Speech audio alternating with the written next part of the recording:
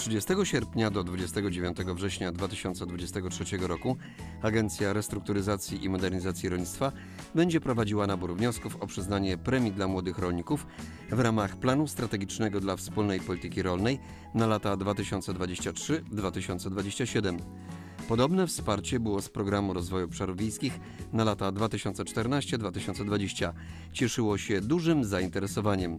Teraz można się będzie starać o 200 tysięcy złotych. To wyższe dofinansowanie niż w latach ubiegłych. Bardzo nam zależy na tym, żeby jak najwięcej młodych rolników y, pozostawało w, y, w gospodarstwie, na, ro, na roli, bo to jest bardzo ważne, żeby, żeby młodzi zostawali i kontynuowali to, co za- zaczęli ich rodzice lub dziadkowie. Dlatego uruchamiamy po raz kolejny ten program Młodego Rolnika, żeby właśnie e, rolnicy młodzi mieli te, te pierwsze środki na start, żeby mogli rozpocząć, żeby ich też zachęcić do tego, żeby na, zostać na e, rolnictwie, bo no, zależy nam, to jest bezpieczeństwo żywnościowe. Patrzymy do przodu. Nie tylko zatrzymujemy się na tu i teraz, na tej pomocy, która jest bardzo potrzebna, bo mamy wojnę, ale też programy uruchamiamy, które są do takie spojrzenie do przodu. Wielu młodych rolników chce rozwijać swoje gospodarstwa, kupować grunty, modernizować park maszynowy. Premia dla młodych rolników to szansa na start w rolniczy biznes. Dlatego zainteresowanie takim wsparciem jest duże. Zawsze jest bardzo duże zainteresowanie. Rolnicy się dopytują, dzwonią do swoich doradców bezpośrednich, z którymi współpracują w terenie w powiatowych zespołach doradztwa rolniczego. Również na naszej stronie e, uruchomiony został mm, informacja o tym, że wchodzi działanie premia e, dla e, młodych rolników i stamtąd też mogą zaczerpnąć informacje konieczne do uruchomienia u siebie tego działania. W nadchodzącym naborze o premię dla młodych rolników można się starać o 200 tysięcy złotych. Pierwsza rata płatności wynosi 70% kwoty przyznanej, czyli 140 tysięcy złotych. Druga rata, a więc pozostałe 30%, będzie wypłacona w wysokości 60 tysięcy złotych. Co najmniej 70% środków musi być przeznaczone na zakup środków trwałych, np. nowych maszyn, sprzętu komputerowego, gruntów rolnych, zwierząt do stada podstawowego, a także na inwestycje budowlane. Natomiast 30% środków można przeznaczyć na środki do produkcji, takie jak pasze dla zwierząt, nawozy czy paliwo. Co ważne, pomoc przysługuje tylko raz na osobę i gospodarstwo wskazane w biznesplanie, z wyjątkiem przypadków wymiany gruntów, śmierci poprzedniego beneficjenta, rezygnacji z pomocy lub zwrotu 100% kwoty wypłaconej pomocy. O taką pomoc mogą ubiegać się osoby, które już ukończyły 18 lat, ale nie ukończyły jeszcze 41 roku życia.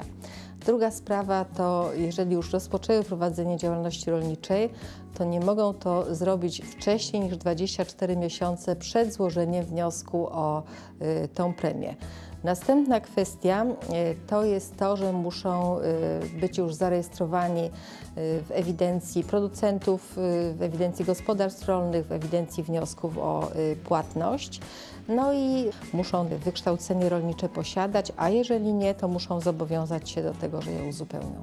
Oczywiście musi być y, złożony stosowny wniosek, y, natomiast potem jeszcze wynikają z tego pewne zobowiązania, które muszą spełnić i tutaj y, przedkładając wniosek składają również propozycję biznesplanu, który potem musi być zrealizowany. Muszą również doprowadzić do wzrostu wartości ekonomicznej gospodarstwa, prowadzić rachunkowość rolniczą, muszą utrzymać zakupy trwałych urządzeń, które w międzyczasie wykonają przez okres pięciu lat i przez taki też okres y, prowadzić działalność rolniczą. Także zobowiązań jest trochę, ale myślę, że ta premia też jest tego warta. Dotychczasowe nabory jeszcze w ramach programu rozwoju obszarów wiejskich na lata 2014-2020 cieszyły się bardzo dużym zainteresowaniem. Młodzi rolnicy w sumie zakupili ponad 28 tysięcy sztuk sprzętu rolniczego, w tym m.in. narzędzia i maszyny do uprawy gleby, maszyny i urządzenia do siewu i sadzenia, ciągniki rolnicze. Ponadto beneficjenci wybudowali 313 i zmodernizowali 503 budynki produkcyjne, zakupili prawie 15 tysięcy hektarów użytków rolnych, kupowali także zwierzęta gospodarskie oraz zakładali lub modernizowali sady i plantacje wieloletnie. Pieniądze otrzymane z premii na młodego rolnika na pewno są e, zachętą po pierwsze, aby, aby młody człowiek został e, na gospodarstwie i również są takim zastrzykiem e, pieniędzy, za które można zacząć jakieś inwestycje. Tak? Można po, powiększyć park maszynowy czy zmodernizować, można zakupić ziemię, która na pewno dla takiego młodego człowieka, który nie ma zasobu e, gotówki, na pewno się w znaczącym stopniu przyda i pomoże mu rozwinąć gospodarstwo. Bardzo często kupowane były po prostu grunty. Dzieci otrzymywały część gruntu swojego i dzięki dodatkowym środkom kupowały grunty od sąsiadów bądź też przyległe do gruntów swoich rodziców. No jeżeli wystarczało pieniążków, no to jakieś e, maszyny. W tym przypadku również można kupić maszyny, można kupić nawet e, e, stado podstawowe, które będzie produkowane w tym gospodarstwie. Jeżeli ktokolwiek ma możliwość przejęcia takiego gruntu, to na pewno skorzysta z tej e, okazji. Pani Jolanta Wileńska wraz z mężem prowadzi gospodarstwo rolne w miejscowości Skwierczyn-Lacki na Mazowszu. Ich gospodarstwo ukierunkowane jest na produkcję roślinną.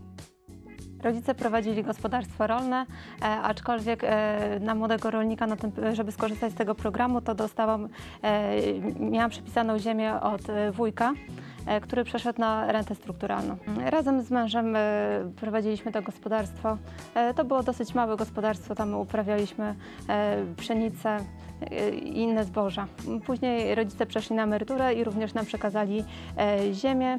Teraz mamy około 100 hektarów. Głównie zboża, e, kukurydzę, rzepak, facelię, soję od niedawna. Wybrałam studia rolnicze. Jakoś zawsze mieszkałam na tych terenach e, rolniczych i byłam z tym związana. I tak, tak się życie e, ułożyło. Mąż też pasjonat rolnictwa i tak, tak wyszło. Potem skorzystaliśmy jeszcze z innych programów powiększających to gospodarstwo i modernizujących. Cały czas rolnictwo się rozwija, przez te 10 lat no to cały czas e, nowe technologie, wszystko się zmienia, udoskonala, idzie do przodu cyfryzacja. Młoda rolniczka kilka lat temu skorzystała z premii dla młodego rolnika. Pieniądze przydały się do rozwoju gospodarstwa. Głównie przekonał mnie wujek, który e, chciał przejść na rentę strukturalną i ch- chciał e, to gospodarstwo swoje komuś przypisać. E, Ja miałam wykształcenie rolnicze, więc tak wszystko się, można powiedzieć, że samo ułożyło. Oczywiście my wtedy dostaliśmy premię 75 tysięcy. Wykorzystaliśmy na zakup różnych sprzętów parku maszynowego, co prawda takiego mm, jeszcze na, na tamte czasy tak dostosowanego do 10 hektarów. Oczywiście potrzebne są dla młodych rolników, żeby rozpocząć to taka e, premia pozwalająca e, jakiś początek e, zacząć. Pani Jolanta wraz z mężem chce rozwijać gospodarstwo, aby przynosiło coraz lepsze efekty i dochody.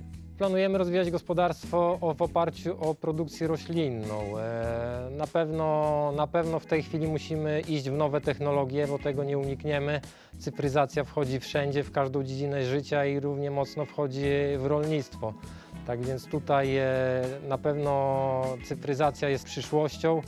Drugą kwestią jest e, powiększanie gospodarstwa, bo przy dzisiejszych maszynach mechanizacji Dużo, e, dużo mniej jest pracy ręcznej, dużo mniej jest pracy ludzkiej. Większość pracy wykonują maszyny, dlatego żeby te maszyny miały, drogie maszyny miały sens na gospodarstwie, musi być też odpowiedni areał i odpowiednia lokalizacja. W tej chwili no nie mogą być już działki rozdrobnione typu pół hektara, półtora hektara, no bo duży sprzęt nie ma racji bytu na takich działkach. Tak więc w tej chwili trzeba iść w kierunku e, konsolidacji małych działek, e, trzeba jakoś się dogadywać z innymi rolnikami, aby, aby się zamieniać na przykład tymi działkami, żeby robić jakieś scalanie gruntów.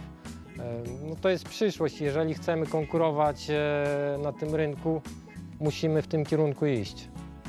Przypomnijmy, od 30 sierpnia do 29 września 2023 roku Agencja Restrukturyzacji i Modernizacji Rolnictwa będzie prowadziła nabór wniosków o przyznanie premii dla młodych rolników w ramach planu strategicznego dla wspólnej polityki rolnej na lata 2023-2027.